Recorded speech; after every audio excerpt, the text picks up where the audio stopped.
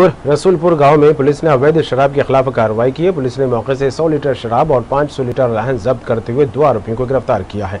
बताया जा रहा है, दोनों आरोपी पिछले कई दिनों से अवैध शराब बना रहे थे। इस बीच सूचना मिलते ही पुलिस ने दबिश देते हुए कार्रवाई को अंजाम दिया।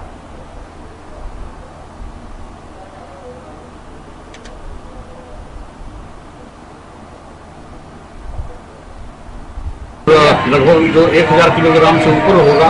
जो बड़े बड़े ड्रमों में भरा गया था और मौके पर हाथ भट्टी से शराब बनाते हुए दो आरोपी पकड़े गए हैं और लगभग सौ लीटर से ऊपर बनी हुई शराब मिली है हमको और महुआ लहान को हमने मौके पर ही नष्ट किया है और जो मौके पर आरोपी पकड़े गए हैं, उन दोनों आरोपियों को हमने गिरफ़्तार किया है और इनके खिलाफ दंडात्मक कार्रवाई एफ़ हम कर रहे हैं।